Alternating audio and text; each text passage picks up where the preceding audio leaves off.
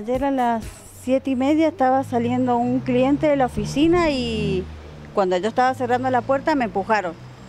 Y cuando me dijeron esto es un asalto y ya sacaron el arma, ya no tenemos nada que hacer.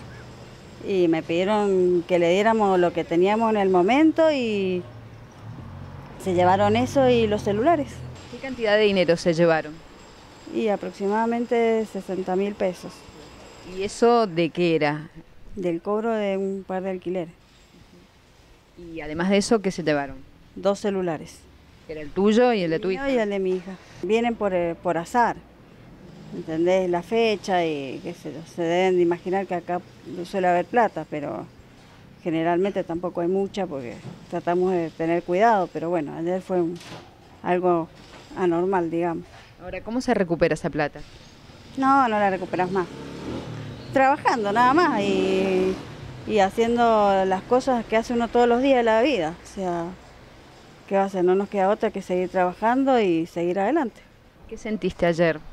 Impotencia, miedo más que nada, porque si vos ves que están apuntando a tu hija, directamente decís, bueno, llévate lo que quieras, y, pero deja a tu hija tranquila, no le hagas nada, porque en realidad ellos entran así y vos no sabes con qué reacción van a tener, si son agresivos o no.